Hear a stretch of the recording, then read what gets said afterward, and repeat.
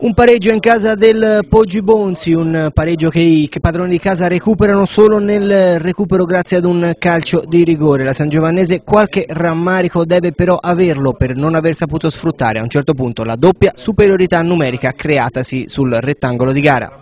Con l'infortunio della vigilia di Chiarini, la squadra che scende in campo a Lotti e quella attesa e prevede D'Ambrosio titolare in difesa, per lui ex colligiana è una sorta di derby, e Romanelli a destra in avanti al posto di Garufo in Sicilia per un permesso familiare.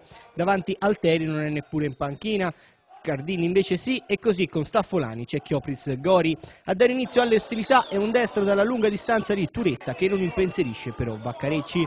Risponde la Sangio con un calcio piazzato dal limite di Dianda. La sfera è indirizzata sotto la traversa, Bini vola a deviare in angolo.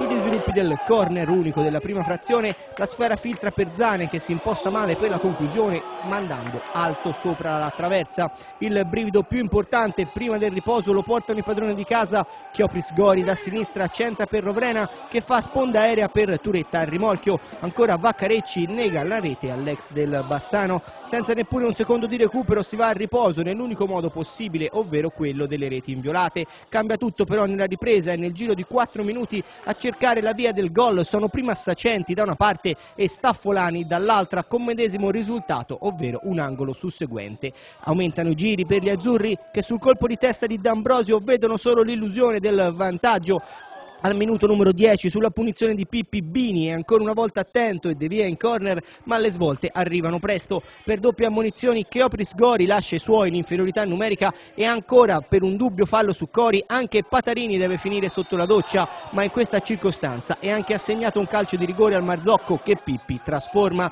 Raimondi fallisce quella che sarebbe stata la rete della tranquillità ma mentre Turetta effettua un controbalzo importante con Baccarecci battuto Bricca fa la fine dei suoi due avversari lasciando lasciandosi andare ad un fallo di troppo. I minuti passano, si arriva al recupero, ecco il secondo penalty della giornata per intervento su Salvadori. Guaita segna e finisce così. I dubbi su entrambi i penalty, permettetecelo, restano.